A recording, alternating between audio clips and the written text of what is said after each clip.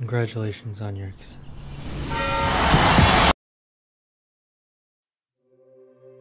When I look back on when I was accepted to Boston College, I was both excited and scared.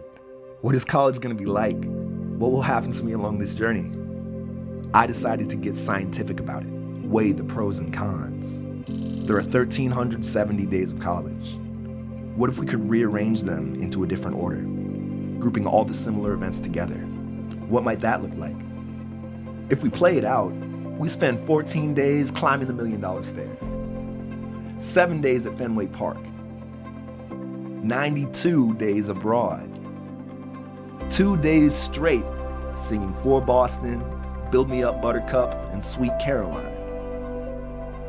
110 days interning, 80 days talking to professors, 175 days of research, 58 days in the dining halls, 17 of which we wait for steak and cheese, 132 days of making new friends.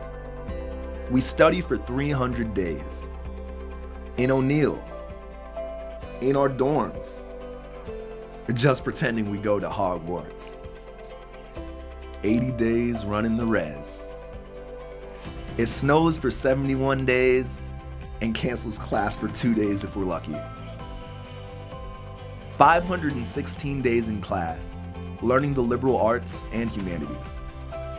48 days playing intramurals. 97 days watching the leaves change. 24 days doing service. We practice and we practice for 32 days of performance. We learn the BC traditions and celebrate them for 17 days.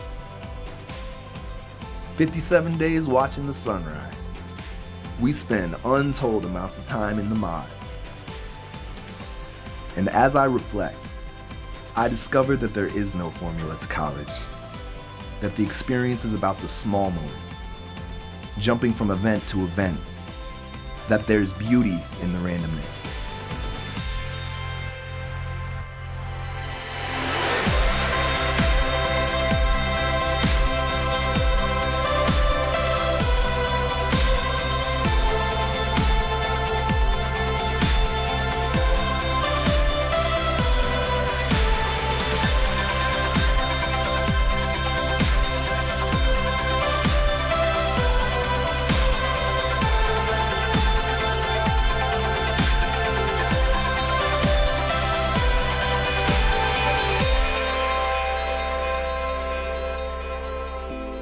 So, congratulations, class of 2020. You've got one wild and precious life, and we can't wait to share it with you. Each spontaneous moment, one day at a time. The question is will you be here on day one?